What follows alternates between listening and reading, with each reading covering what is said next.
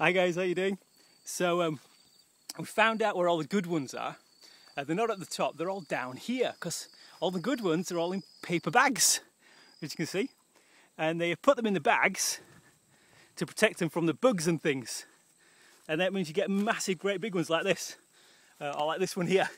And they are mm,